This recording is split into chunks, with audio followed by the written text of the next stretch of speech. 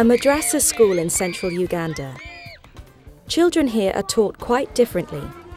Their exercise books are toys, their lessons playing with sticks. Early childhood is the foundation upon which all other things are built. It's at this age that you have to put everything in order. In a country where around 60% of children drop out of school early, the people here are desperate for a solution. They might just have found it. Now, this child who has been to a madrasa school will never think of remaining home when other kids are at school because he or she knows that I'm missing out.